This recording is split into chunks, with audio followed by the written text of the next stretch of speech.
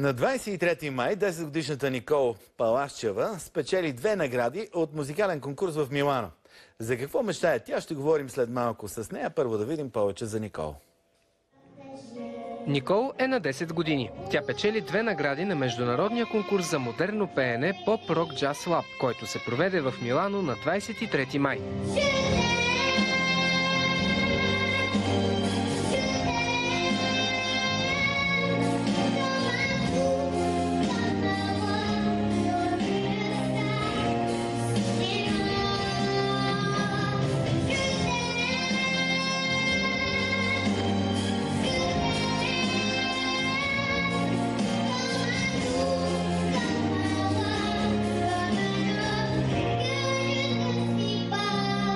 Никол участва и в предаването на нова телевизия «Големите надежди».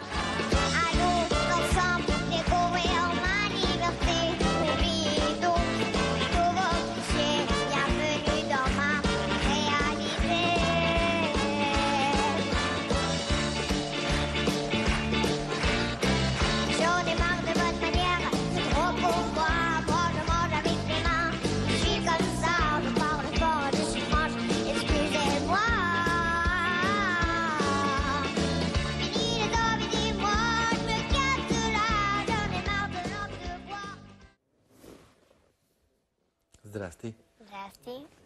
Абе, ти празнуваш ли на 1 юни или си пораснала вече? За... Празнувам. Празнуваш. Тоест, отпразнувала си детския празник. М, Да. Как? Ами, разходих се в парка, а, ходих на училище и... Чакай бе, на 1 юни ходите ли на училище? Ами да. Верно! Чакай бе, едно време не ходехме на 1 юни на училище. Да, така А, бяха така времена. беше, нали? Така беше, поне аз си спомням, че така беше. А сега ходите на училище. Ами да, ние сме под друг а, режим. Кои сте тия вие? А, в а, френския лицей Виктория Гол. Ау, извинявай. Да, е сега разбрах, що ходите. Да. Ами, ние две Те французите не, не празнуват ли 1 юни нещо? Ами не, във Франция сега е Деня на майката. Деня на майката. Или 1 май. Деня на майката. Добре, защо участваш в тези конкурси? Участвай в а, телевизионното шоу на нова телевизия. Обичаш да пееш, обичаш да се качваш на сцената, обичаш да ти ръкопляскат, обичаш какво? Ами, а, значи аз а, участвам в тези конкурси, защото така придобивам тренинг. А, а, Техник за какво, извинявай? ами, за да може да се представям добре на сцената. И ми е много приятно да пея на сцената. Просто се чувствам много добре. Чакай бе, много хора се стъписват. А, бяг, дори, дори, дори съм виждал деца, които бягат от сцената, а, други с извинение какво ли не се случва с тях на сцената. Ти не те ли фаща нещо страха? Е така като излезеш нещо да ти... А, така да ти се качи тук в гърлото нещо. Не, просто излизам и си пея. Това от кога започна тая цялата история? Ами, първо отидах на пиано. Започнах да се уча да свиря на пиано. Кога е това първо? А, бях на 5 годинки. О, съвсем малко. Да.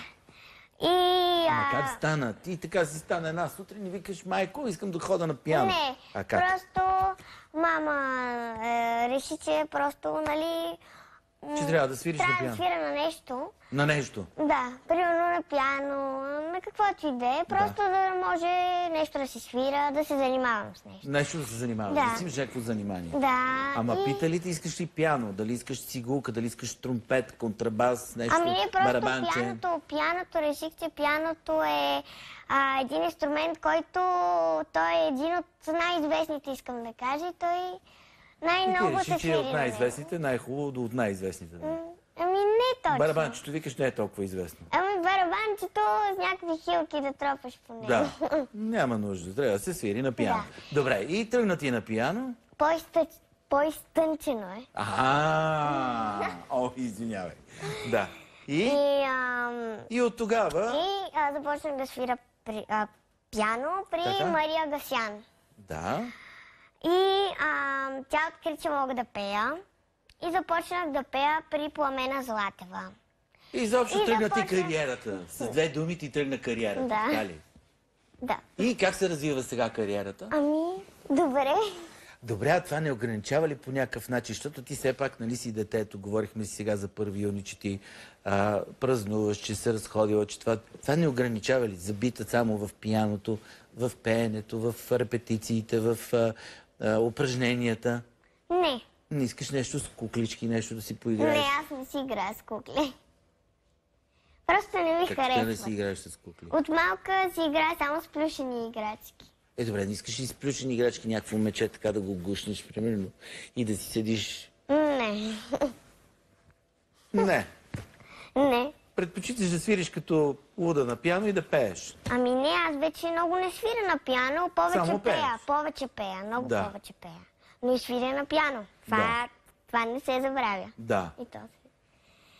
Но не, го, не предпочиташ, примерно, да гушнеш някакво меченце. Не.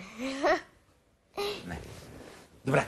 Това големи успехи ли сега? Видяхме в Милано някакви концерти, тя спечелила награди. Как, как да го разбираме това нещо? Как да си го тълкуваме? Ами това е началото.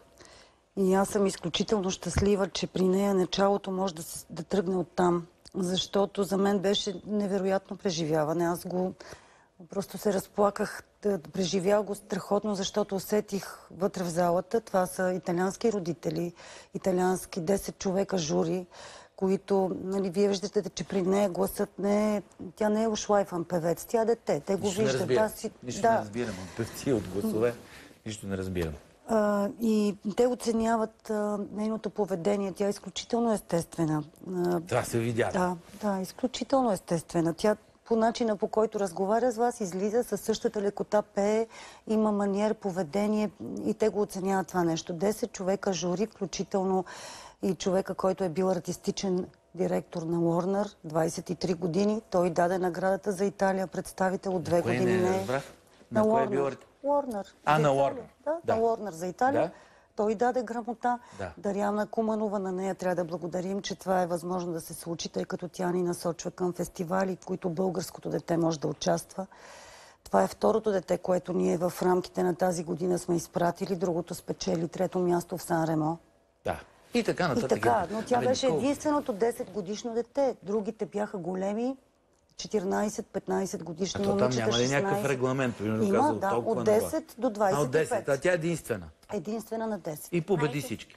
победи в тази категория. Да, другите бяха до 25. В тази категория тя взе наградата, плюс наградата на музикалните критици, които бяха там. Абе, голяма работа с две думи. А какво... Ти за какво си мечтаеш? Какво искаш да постигнеш с всичките тези неща? Да пие свирането на пиано, пеенето, ето сега в Италия, в телевизионно шоу, не знам. Какво искаш да направиш? Искам да стана голяма певица.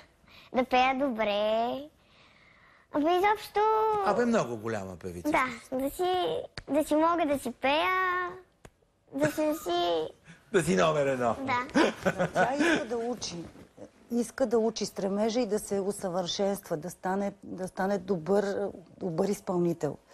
И а, при нея влеченията не са, те са целенасочени. Децата, новите, са устремени в правилната посока, някои от тях, нали, които вече са осъзнати. Аз се срещам в моята академия с деца, които вече имат определена определено желание. Те мечтаят да бъдат артисти, както тя мечтая да бъде певица. И Не знам, аз винаги се притеснявам, че това някак си може да промени детството, да го направи различно. Но ти пожелавам успех, бъди, Ами- стани най-добрата певица, стани номер едно и продължаваме нататък с първите страници на някои от вестниците.